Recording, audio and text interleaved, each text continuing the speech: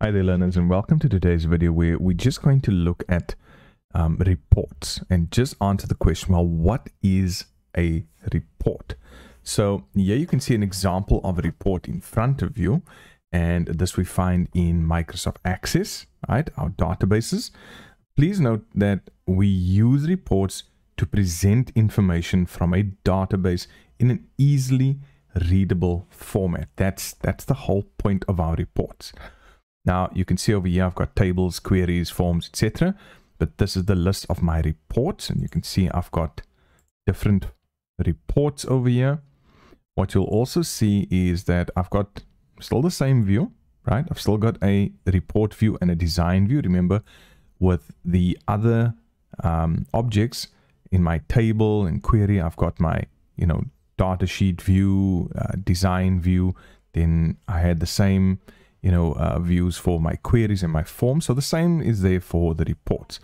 So this is um, where I get everything out. In other words, this is my report view where you'll see I can go through the list of everything displayed over there. Okay. Then I've got my design view. So let's go to the design view. And this is the important section. You can see I've got my report header. I've got a page header. I've got a details section and my page footer. Now you can go and, um, you know, resize these things in order to, um, you know, see it a bit clearer, see exactly, you know, what you need to fit in there. Um, but let's just go back to the normal report view. And again, you can see there's my header, right? Let's go again. This is the report header. So the report header, all rock CDs. Then you'll see I've got these headings over here and they fall under my page headers. Okay, so they typically don't change. And then I've got the details underneath. And then at the bottom, I've got a page footer. So let's go and have a look at that. There at the bottom, there is my page footer with the date and the page number. Okay, so these are just some typical things or the, the uh, typical layout that you'll find within a report.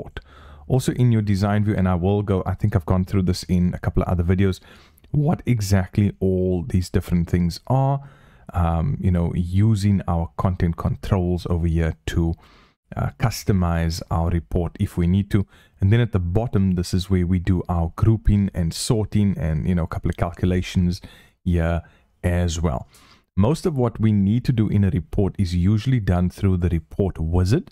So when we go up to create and we go to our report wizard, most of what we need to do is already, um, this wizard takes you through that process. Okay.